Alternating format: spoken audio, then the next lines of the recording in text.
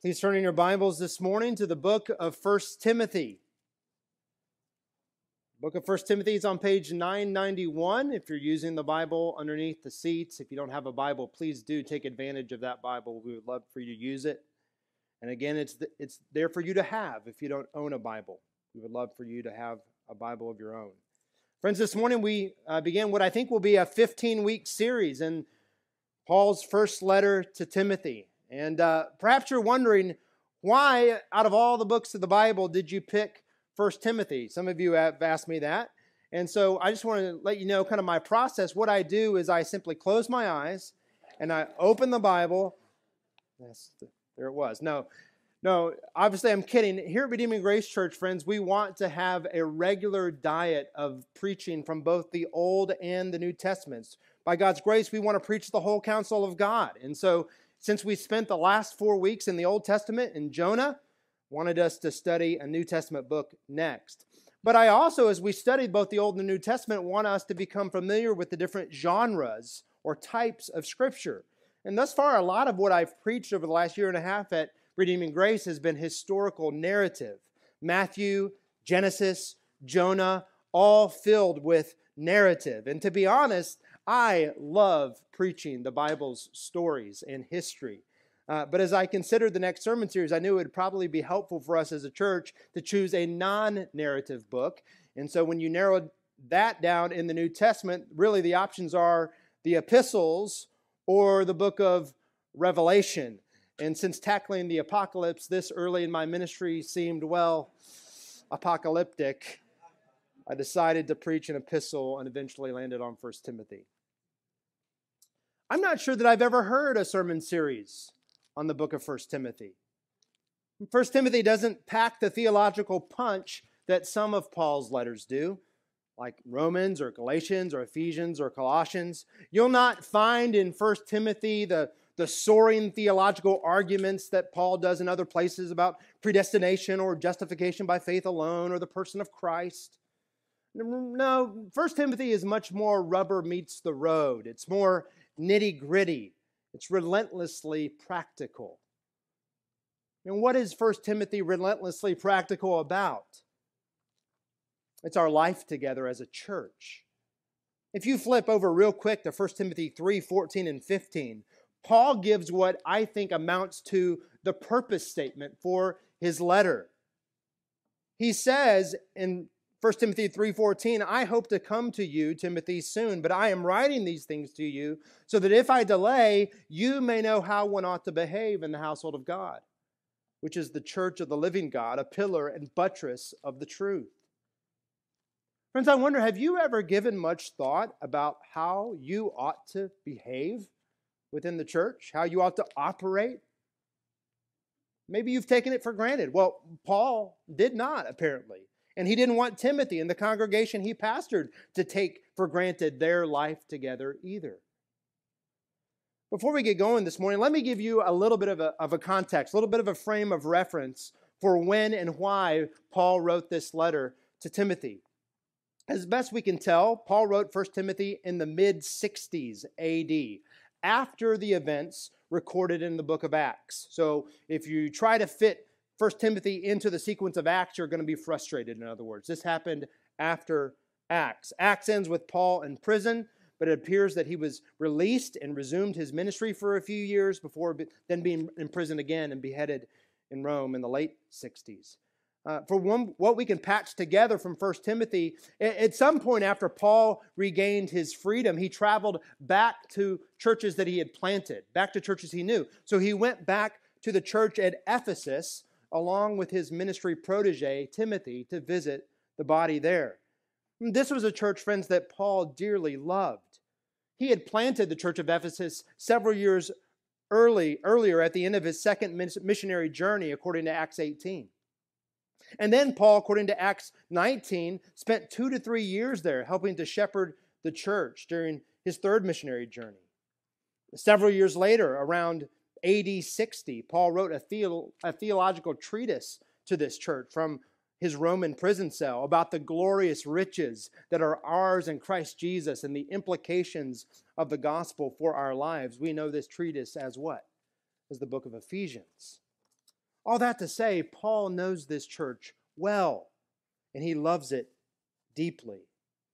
And what Paul apparently found when he returned to this church with Timothy was a mess. From what we can tell, the church was beset by false teachers. It was, it was marked by disunity. It needed guidance on a host of matters from, from leadership to social responsibility. And so rather than stay in Ephesus himself, what Paul decided to do was to leave Timothy as his proxy there while Paul went on to minister in Macedonia. Timothy served as Paul's apostolic representative and pastored the church at Ephesus for a season in order to set the church in order. And that's why 1 Timothy, friends, along with 2 Timothy and Titus, is called one of the pastoral epistles. Paul wrote to Timothy to help him pastor, shepherd the church. Paul is caring for the health of this young pastor, but more than that, he's caring for the entire Ephesian church. And friends, because we understand the words of the Apostle Paul to be inspired by the Holy Spirit and, and backed by the authority of King Jesus, the truth of Paul's letter to Timothy echoes down through the ages to us today. We, like the church of, at Ephesus, learn from 1 Timothy how to live together in the gospel in the household of faith. So let's read together the opening of, of this letter, 1 Timothy 1, beginning in verse 1. Paul, an apostle of Christ Jesus, by command of God our Savior, and of Christ Jesus our hope, to Timothy, my true child in the faith, grace, mercy, and peace from God the Father and Christ Jesus our Lord. As I urged you when I was going to Macedonia, remain at Ephesus, so that you may charge certain persons not to teach any different doctrine, nor to devote themselves to myths and endless genealogies which promote speculations rather than the stewardship from God that is by faith. The aim of our charge is love that issues from a pure heart and a good conscience and a sincere faith. Certain persons, by swerving from these, have wandered away into vain discussion, desiring to be teachers of the law without understanding either what they are saying or the things about which they make confident assertions. Now we know that the law is good if one uses it lawfully, understanding this, that the law is not laid down for the just, but for the lawless and disobedient for the ungodly and sinners, for the holy, unholy and profane, for those who strike their fathers and mothers, for murderers, the sexually immoral, men who practice homosexuality, enslavers, liars, perjurers, and whatever else is contrary to sound doctrine, in accordance with the gospel of the glory of the blessed God with which I have been entrusted. Friends, I think this, the structure of this opening of 1 Timothy is, is rather easy to see. Verses 1 to 2 contain Paul's greeting, his, his salutation to Timothy and to the entire church. And I've, I've summarized these verses in point one in the sermon gospel blessings for a faithful ministry. Gospel blessings for a faithful ministry. And then in verses 3 to 11, Paul really wastes no time in helping Timothy address the urgency of dealing with those who would teach a different doctrine than the one handed down by Christ and the apostles. I've summarized verses 3 to 11 with point 2 of the sermon gospel urgency for a healthy church. Gospel blessings for a faithful ministry, gospel urgency for a faithful church. Here's the main idea. The main idea of these first 11 verses that I hope will be the main idea of the sermon. Friends, preserving doctrine that conforms to the gospel is vital to the life of our church. Preserving doctrine that conforms to the gospel is vital to the life of our church. Brothers and sisters, I pray this morning that Paul's words of exhortation might instruct us, that they might encourage us, and even implicitly warn us today. False doctrine and foolish topics will kill a church. They'll destroy individual lives. And so we must be vigilant to protect gospel doctrine so that we might grow in love to the glory of God. Let's look at this first point gospel blessings for a faithful ministry. Paul begins his letter to Timothy in the way that he begins his other letters. He states who he is and to whom he's writing, as he frequently does, and then he includes a, a word of gospel blessing to them at the end. Some have questioned why Paul was this formal. If he and Timothy had this close father son relationship, then why the stately intro? Why, I think the answer to that question is pretty simple. Yes, Paul wrote to Timothy, his son in the faith, but he wrote to Timothy as a means of communicating with the entire Ephesian church as a whole. In fact, flip over real quick to the very end of the letter. The very end of the letter, 1 Corinthians 6, the last sentence.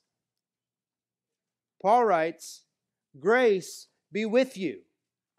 Now that sounds a lot like the opening of the letter, doesn't it? But the you at the end of 1 Timothy isn't singular like it is at the beginning. In the Greek, it's in the second person plural. He says, Grace be with you all. He has the entire church in mind. It's not hard to imagine Timothy taking Paul's letter and reading it to the other elders to fortify their resolve too against the false teachers. Perhaps he read to the entire church the intensely practical sections about prayer and unity and elders and deacons and widows and budgets and money and all the rest. We don't know. But what's clear that Paul has the entire church in mind even as he writes to Timothy. The outline of Paul's greeting is clear. Paul, an apostle of Christ Jesus, to Timothy, my true child in the faith. I think it's safe to say that few, if any, were closer to Paul's heart than Timothy. He had raised him in the Lord, he had mentored him in ministry over many years. And so he cared deeply about the success of Timothy's ministry. But, but Paul's greeting does more than express relationship, it expresses authority. He says, Paul, an apostle of Christ Jesus, by command of God our Savior, and of Christ Jesus our hope. And Paul often begins a letter in a similar way. It's not because he's on a, some sort of a power trip. Rather, he's reminding the recipients where his authority comes from. He's an apostle of Christ Jesus. Paul understands himself on a level with the 12 that followed Jesus in his earthly ministry and that afterward his ascension represented Jesus' teaching authority in a unique way. Paul bore all the marks of a true apostle. He had seen the resurrected Jesus on the road to Damascus. He had been chosen and commissioned by God to, to play a unique role in the spread of the gospel to the Gentiles. Friends, apostle simply means sent one. Paul wasn't merely a sent one of the churches like we might think of a modern day missionary. Paul was a sent one by the command of God our Savior and of Christ Jesus our hope. His apostleship was grounded in the will and command of both the Father and the Son. So, friends, why? Why should Timothy and the church at Ephesus and Redeeming Grace Church listen to and obey what Paul has to say? Because he's a, an apostle by the command of God. It's an, this, is, this is no ordinary letter that you or I might write. This is an apostolic missive bearing the authoritative seal of King Jesus. Notice how Paul frames it. He's an apostle by command of God our Savior and Christ Jesus our hope. Now, that is a unique way to phrase it, isn't it? Why did he do that? Well, I think what he's doing is he's, he's positioning his ministry as an apostle in the context of salvation history. Labeling the Father as God our Savior points to God's saving activity in sending Christ the Son. How else is God Savior but through the, the birth, the life, the death, the resurrection, and ascension of Jesus? And this Jesus is indeed now risen from the dead and ascended to the right hand of the Father, and he will come again, won't he, to judge the living and the dead. Christ Jesus, this victorious King, is our hope. One glorious day, Jesus is going to bring down the curtain of God's redemption. Heaven will descend to earth, and all of us will forever be with the Lord if we're His. But until that great day comes, the gospel of Jesus, the apostolic preaching of the gospel, will be spread across the earth and advance God's reign through the establishing of local churches just like ours. So, in this greeting, Paul is what, he, what is he doing? He's reiterating his relationship with Timothy. He's speaking of his authority to speak on behalf of Jesus. He's giving the context of his ministry, God's saving work. And finally, he invokes gospel blessings grace, mercy, and peace from God the Father and Christ Jesus our Lord. Friends, these are not just well wishes from Paul. They're not the equivalent of our you know, best wishes, cheers, God bless you, even. When we say those things, we're communicating future hopes. Paul, on the other hand, is reminding these believers of current realities. Grace, mercy, and peace are theirs, flowing from God the Father in Christ Jesus our Lord. Again, Paul places Christ Jesus, the Messiah King, alongside God the Father as the source of these blessings. There's no question in Paul's mind that Jesus is one with the Father in the glory of his person. Father, Son, and Spirit operate together in the great work of redemption. How could Paul be so confident? How could he write this over and over again that grace, mercy, and peace are ours? Well, God the Father sent Christ Jesus, our Lord, who purchased these blessings on the cross and has applied them to our hearts by the Spirit. Oh, friends, don't let these blessings run by unnoticed across the page. They're terms that are they're so familiar to us in our Christian lingo, aren't they? Grace and peace. or In this case, grace, mercy, and peace. Grace is God's kindness to guilty and undeserving sinners like us. Mercy is similar to grace, but the accent is a bit more on God's pity to us, since we have no way to save ourselves. And peace is our status of reconciliation to God as those who were previously alienated from Him and from one another. Christ Jesus has made peace, Paul writes, through the blood of his cross. Friends, think how encouraging this must have been for a young pastor like Timothy. Timothy may face a mountain of pastoral challenges ahead of him but he's a minister of the gospel that has made him a recipient of God's unmatched grace, his stunning mercy, and his life giving peace. Earlier this week, I was a, uh, a bit discouraged about a certain situation, and, and Lindsay texted me a note of encouragement. And guess what? She didn't say, Oh, don't worry, babe, it'll get better. That's true, but that's not what she said. She didn't say, Oh, you're doing a great job. I don't know if that's true, but that's not what she said. Rather, she didn't remind me of anything about me. She texted me a portion of Ephesians to remind me of what I have in Christ Jesus. Beloved, this is what we all need. How will we face the challenges ahead? How will we make it faithful to the end? Oh, we need a deeper knowledge and a fuller experience of the treasure trove of blessings that are already ours due to our union with Christ. We need to go deeper into the gospel. This is what binds us together as a church, friends. We share in the blessings won by Christ Jesus. Beloved, if you're a Christian this morning, these words are just as much for you as they are for the church at Ephesus. Grace is yours today. Kindness that you have not earned nor deserved is yours, full and free this morning if you're in Christ.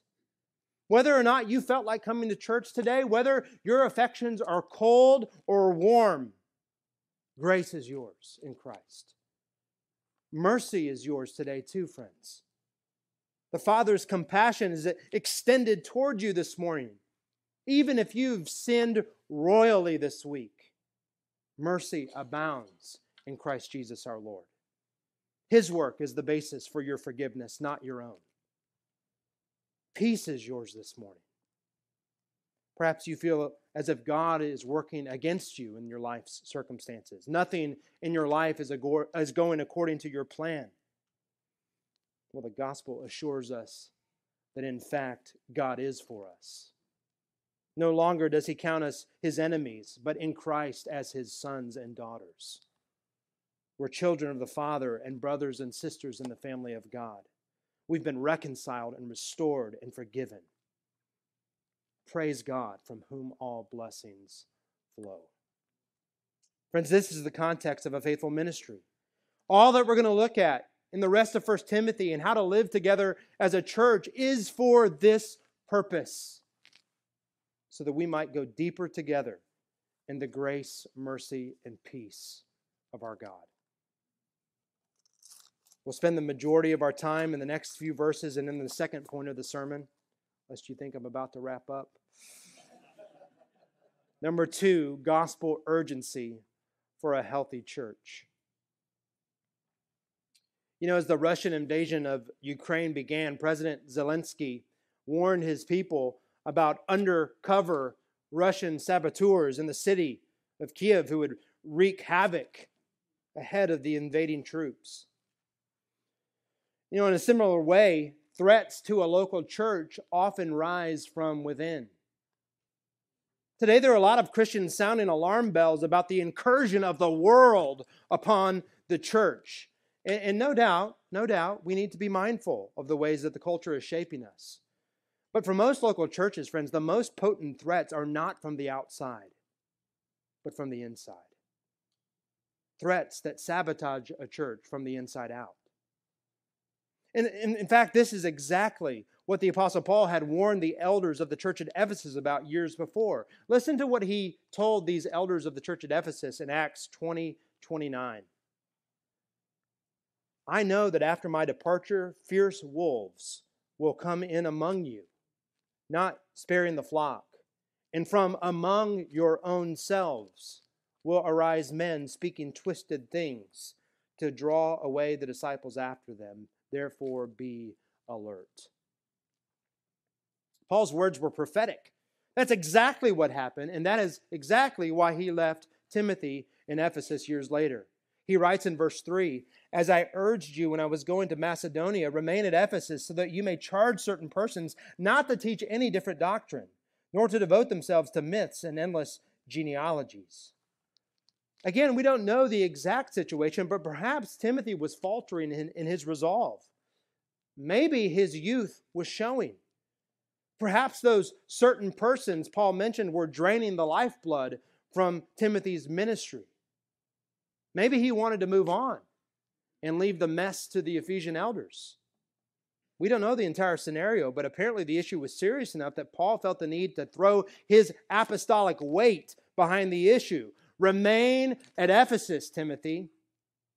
Don't give up. Paul is reminding us that the, the presence of problems in a church don't necessarily mean that we need a change of scenery. Here's the thing, friends every church has problems. Do you realize that? Every church has problems because every church has sinners.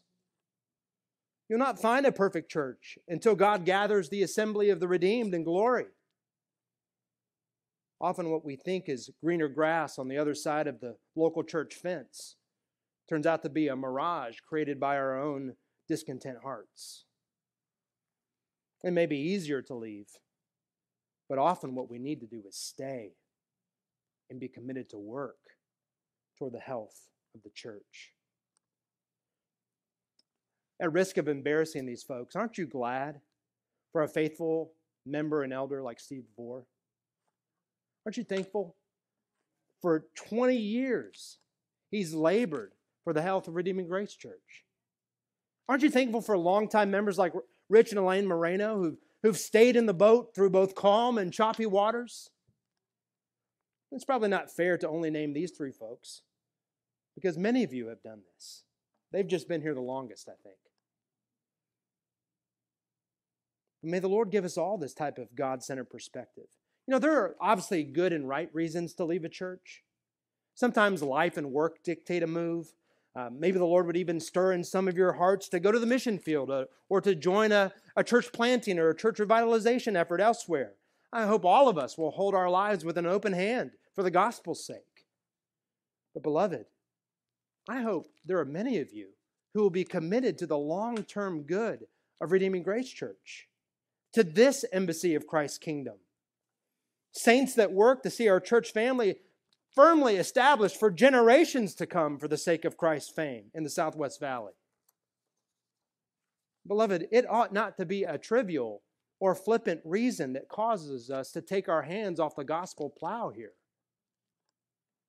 Our culture values the fast and trendy, doesn't it? But that's not how the Lord often works. We ought to cultivate in our hearts a love for the long game, for the patient and unglamorous work of laboring in the harvest fields, for the good of the church and the glory of Christ's name. What Timothy needed to do was stay. The life and health and gospel witness of the church at Ephesus depended on it. Why was he to stay? He was to charge certain persons not to teach any different doctrine nor to devote themselves to myths. Fun job, Timothy. It's a tad frustrating because Paul rarely comes out in his letters and tells us exactly what the false teachers were teaching. Uh, his concern is rather how the church, or in this case, Timothy, should respond to the false teaching. But I think there are enough breadcrumbs that lead us on the right trail. Uh, what the false teachers were doing were, were using the Old Testament for a purpose that God did not design it for, especially in this age since the coming of Christ. In verses uh, uh in verse 7 and, and, and onward, Paul says that, that these false teachers fancied themselves Old Testament experts, but they really had no idea what they were talking about. And then in verses 8 to 11, Paul demonstrates the right and proper use of the law in contrast to their teaching. Another clue is what Paul wrote later in this letter in chapter 4. Paul says that these false teachers advocated a legalistic asceticism. They forbade marriage. They required abstinence from certain types of food that God created to be received with thanksgiving. It seems like they were using the Old Testament law to require things of New Testament believers that were out of step with the gospel.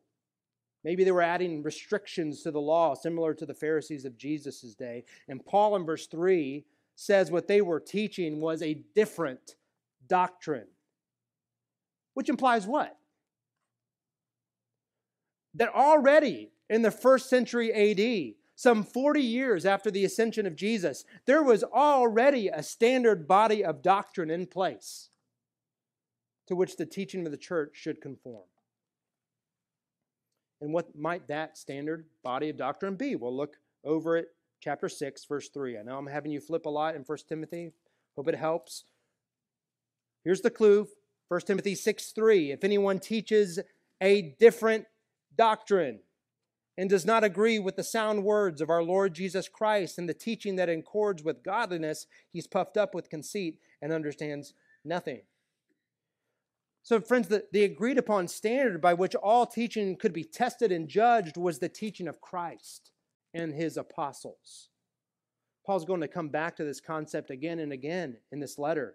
Sometimes Paul will call this, this standard body of doctrine the faith or the truth, or at the end of our passage today, sound doctrine or teaching or even the good deposit. Each time he's referring to the apostolic gospel handed down through Christ Jesus our Lord. The gospel doctrines once for all delivered to the saints. To deviate, to swerve from this standard of teaching is to put the church in danger of preaching a different gospel altogether.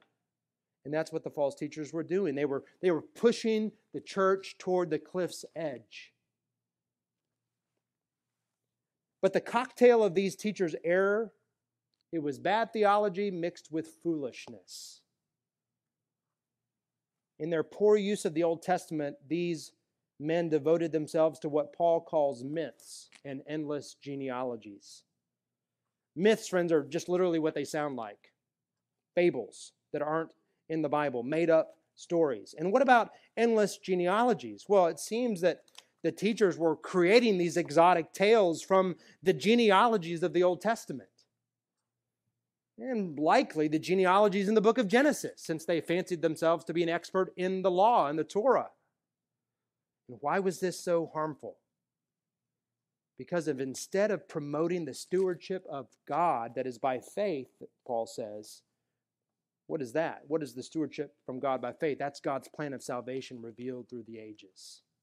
Instead of promoting that, the myths and geological tales, genealogical tales, only promoted speculation. It was all conjecture. It was pointless and it was fruitless. It caused division in the church as people took sides about whether or not they believed the fables to be true. Beloved, guard your hearts and your minds from such pursuits. Maybe for some of you, your temptation in this area is that you're just enamored with biblical prophecy about the end times. I don't know that to be true of any of you, so I'm not sub preaching here. But maybe that's you.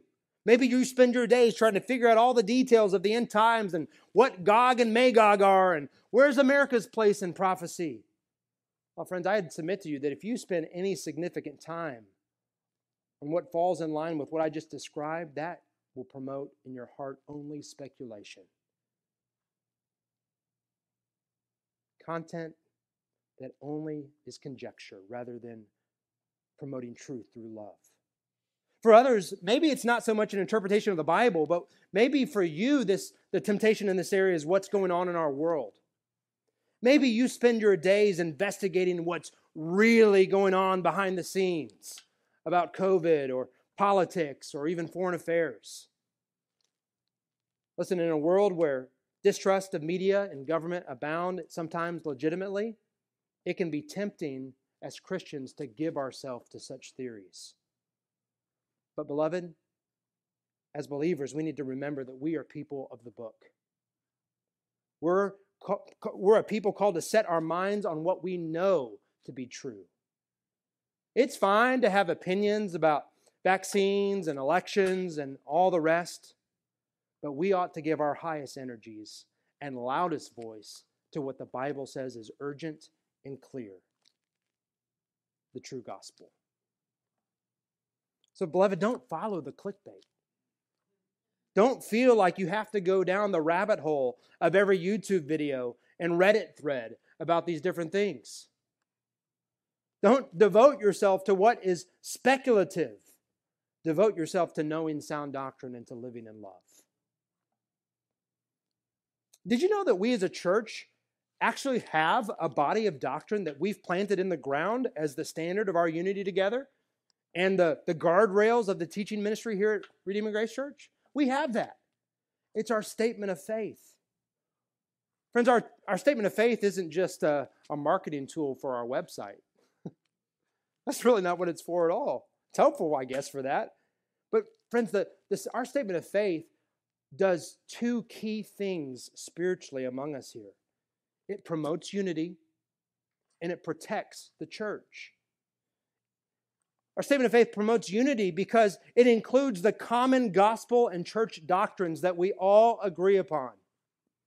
And it protects the church so that God forbid, there's ever false teaching, the congregation can hold the teacher accountable to the written standard in accordance with the truth.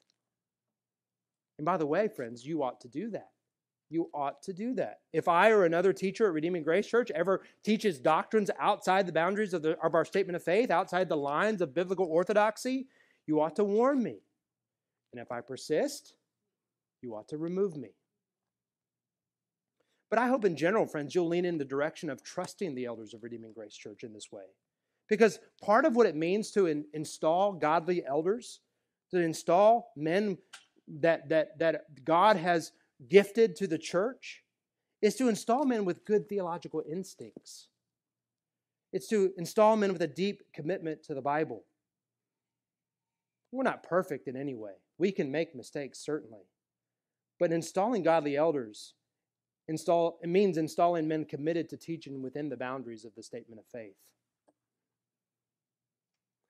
Did you know that there are some biblical doctrines that, while important, simply are not as urgent for the protection of the gospel and the building up of the church? Did you realize that? All doctrine is important, but not all doctrine is equally urgent. So you won't find any of, of the types of doctrine in the statement of faith that believers can agree to disagree on without compromising what it means to preach the true gospel and build up the true church. In fact, the less urgent a doctrine for the preservation of the gospel and the building of the church, the lower the heat and intensity of our hearts should be about it. Let me give you an example.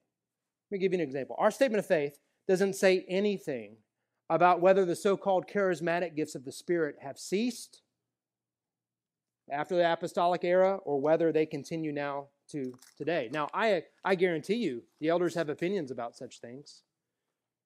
And the fact that we don't pursue in our, in our gatherings, we don't pursue tongue speaking and prophecy and healings ought to tell you something, right? But there's no verse in the New Testament that definitively indicates one way or the other about the charismatic gifts. And so rather than give our energies in a dogmatism about doctrines in which the spirit is le- uh, the scripture is less dogmatic, we're going to plant our flag in the doctrines essential to salvation and the doctrines essential to what it means to be a church. Because here's the thing. Look at what Paul tells Timothy is the end goal of it all. The aim of our charge, verse 5, is love that issues from a pure heart and a good conscience and a sincere faith. Apparently, a stern pastoral warning was not incompatible with love. Why ought Timothy to confront the false teachers? Because their speculation and myths had the opposite effect in the body. It produced vain discussions and never ending controversy within the church. The false teachers took the church down the trail of worthless debates, of theological minutiae, all the while oblivious to the damage it was doing within the body. Brothers and sisters, we ought to be zealous for truth, but we ought to be equally zealous for love. Our primary Christian duties are to love God with all of our heart, all of our soul, all of our mind, and to love our neighbor as ourselves. This love that Paul commends that is the end goal of all of our teaching. It's not fluffy, it's not flimsy, it's deeply rooted. It's love grounded in the truth. Friends, after all, how do we love God but to know Him? And how do we know Him unless we know the truth that He's revealed about Himself? Similarly, with our love for others, how do we love others unless within the parameters and the, by the means that God has revealed to us in His Word? How do we love each other well unless our heart is being constantly informed and transformed by the gospel so that we imitate this mercy of God to others? Brothers and sisters, we ought not to be zealous for truth here at RGC so that we can, we can market ourselves as the church that stands without apology. That is not why we do that.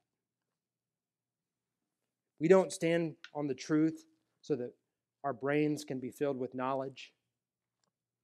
We ought to be zealous for the right preaching and teaching of the gospel so that our church grows together in biblical love. Paul says, Paul says it's love that issues from a, from a pure heart and a good conscience and a sincere faith. In other words, friends, it's love that stems or springs from a life transformed by the gospel of Jesus. Love that, that issues from the new birth. That's the goal of our ministry. That's why guarding the gospel is so urgently important.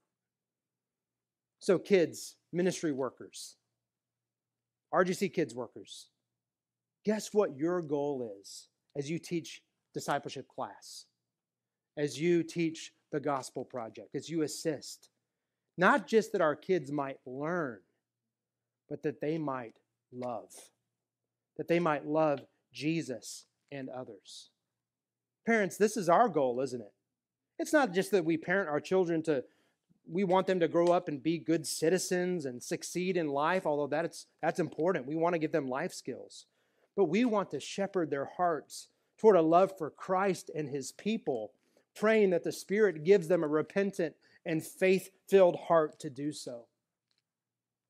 House to house leaders, fellow elders, this is the goal of your ministry in the lives of your members. It's an increasing affection for the Savior and for others.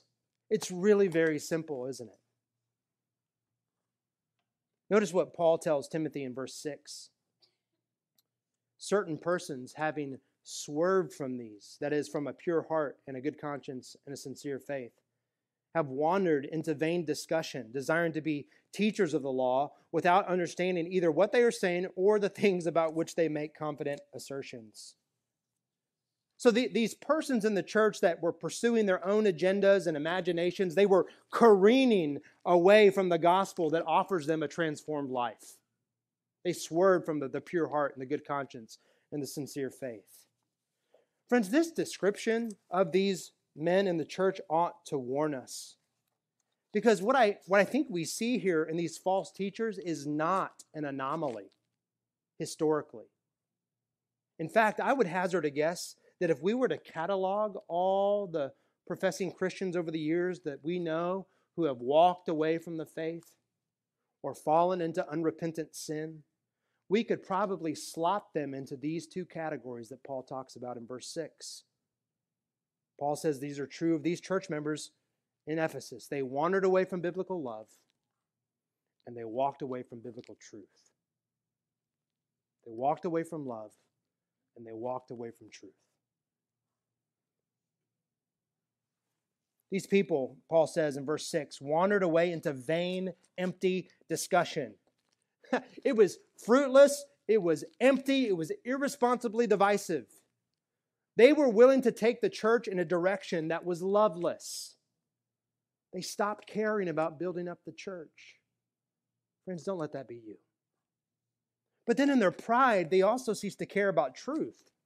Ironically, they desired to be teachers of the law, but they didn't know what they were talking about. They made confident assertions while being unskilled in the scripture. It proves the, the point all too well, friends, that it, it is possible to be at the same time confident yet incompetent. We can trick ourselves into thinking that we're an authority on something that we're really a novice in. Usually, the last ones to realize that their confident assertions are incompetent assertions are the persons making the assertions. That's why it's so important to cultivate in our hearts the theological humility that we talked about last week in Jonah 4. So that when an elder or a godly friend in the church says, Brother, sister, I don't think you're understanding this correctly. I don't think that means what you think it means. I don't know that you're con- considering the totality of how the Bible nuances this issue, that you have ears to hear and a teachable heart. Beloved, we need to guard the truth, but we also need to guard our love. We need to work to preach the true gospel and sound doctrine, but only to the end that love for God and love for others flourishes like a growing plant in this place. Make both truth and love the pursuit of your life. The false teachers, well, they thought they were an authority on the Old Testament law.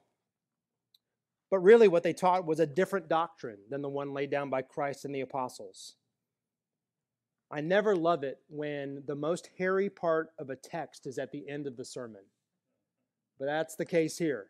So buckle up. Here's how we're going to close. In verses 8 to 11, Paul says that the false teachers used the Old Testament law in a way that God did not intend, out of step with the gospel of Christ. You can see that so clearly at the end of verse 10 and, and into verse 11. In, in Paul's mind, friends, the, the gospel, the saving message of God's salvation in Christ, is the plumb line. That's a construction image. It's the, it's the plumb line by which we measure what a godly life looks like. Because the sound doctrine that flows out of the gospel teaches us how to honor Jesus with our lives. These verses in verses 8 to 11 are, are notoriously tricky to interpret. What does Paul mean when he says that the law is good? when he seems to indicate otherwise in Romans. What does he mean that the law isn't for the just? Is he talking about the just, the righteous as believers or as self righteous? It's, it's a tough passage. Here's what I think Paul's doing. Even though the false teachers were inaccurate in their teaching of the Old Testament law, Paul says fundamentally the problem is not the law itself, but the way that they were using the law. They were using it unlawfully. See that? The law is good if you use it lawfully. It's a little play on words. If you interpret and apply it in a way that God intends, it is, it is good within the scope of its appropriate use. So, what is the appropriate use of the law? He writes in verse 9, understanding this, that the law is not laid down for the just, but for the lawless and disobedient. In this context, I believe the just, the righteous, are Christian believers who, through their genuine conversion, produce the self giving love that fulfills the law. It's, it's the, friends, as we know, it's the Spirit, not the law, that produces a pure heart and a good conscience and a sincere faith that Paul's already talked about. For us believers, the law as a written moral code is obsolete. It's obsolete. Jesus fulfilled God's law, and now we are under the gracious law of Christ. And certainly the law of Jesus includes moral imperatives that we must obey that are even similar to the, to the Ten Commandments. But, friends, we do so with hearts transformed by the Spirit. The Old Testament law had no ability to do that. So, to help us understand this point, Paul sets out this list of vices in verses 9 and 10. He says, The law, rather, is for the lawless and disobedient, for the ungodly and sinners, for the unholy and profane, for those who strike their fathers and mothers, for murderers, the sexually immoral, men who practice homosexuality, enslavers, liars, perjurers, and whatever else, grab bag, is contrary to sound doctrine. It's this graphic portrait of godless human activity that's precisely the opposite of what the Spirit produces in us in the gospel. The main way that the law is for those who are in this list is that the law reveals the depravity and wickedness of their hearts. If the false teachers truly understood the law, they would have realized that the law uncovers a depth of evil in human beings, but it plays no such role in conquering that evil. Starting at the end of verse 9, Paul starts ticking off human sins that correspond actually to the second half of the Decalogue, the second half of the Ten Commandments. Those who strike their fathers and mothers break the fifth commandment honor your father and mother. Those who murder break the sixth commandment you shall not murder. The sexually immoral and men who practice homosexuality break the seventh commandment you shall not commit adultery, which is a command that enjoins us to sexual purity in mind and deed according to God's design. Enslavers or man stealers are the most heinous violators of the eighth commandment you shall not steal. Liars and perjurers break the ninth commandment you shall not bear false witness. Friends, even in a casual reading of these violations, none of us stands innocent. We've all broken all of these commandments in different ways. We may or may not have hit our parents, but we've all been disrespectful and disobedient to them. We may or may not have murdered. I don't think any of you have. But each one of us have harbored hatred in our hearts toward another human being. We may or may not have practiced homosexuality, but which one of us is sexually innocent of lust or pornography or a whole host of other sexual sins? We may or may not have kidnapped another human. Again, I don't know that any of you have, but there's no doubt that each one of us has taken something that didn't belong to us as our own. No doubt we have all lied, broken our word, deceived others. Left to ourselves, we are lawless. These teachers seem to teach God's law as the source of life. But Paul says all the law does, friends, is just reveal this cascading avalanche of evil that flows out of our hearts. And exposing us and laying us bare, the law drives us to the Lord Jesus. It steers us toward the only one who kept God's law perfectly, the one who died to pay the penalty of our law breaking so that he might justify us through faith in him. Friends, this is our only hope. Not that we can keep God's law, but that Jesus kept it for us and died to bear our curse. Friends, if you're not a Christian today, if you're not a Christian, realize that Christianity is not, is not a religion of rule keeping in order to earn God's favor and attention. Rather, it's a religion of relationship with the triune God by faith in his Son, Jesus Christ. Having broken faith with your Creator and broken his holy law, you deserve God's just wrath. You deserve to be condemned for all eternity.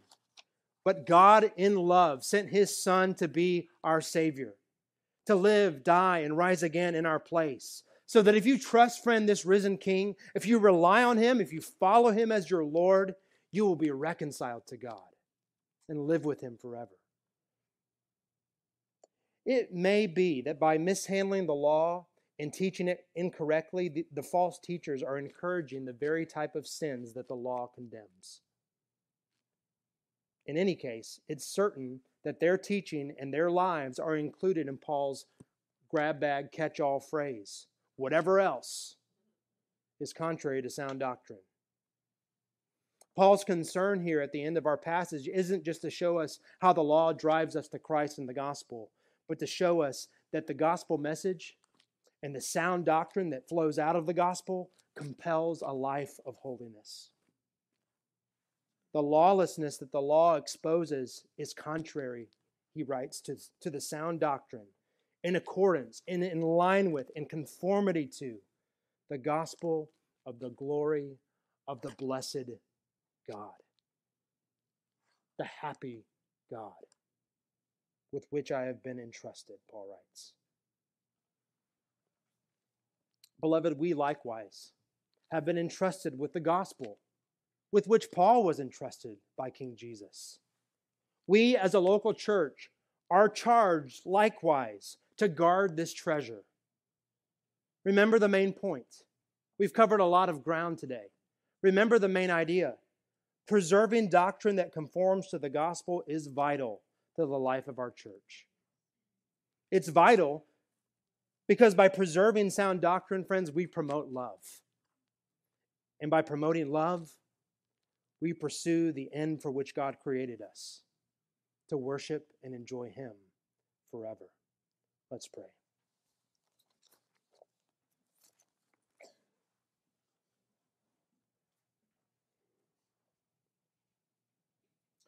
Oh, Father, we pray that you would take your truth and plant it deep in us, that you would shape and fashion us in your likeness, we pray. In Jesus' name, amen.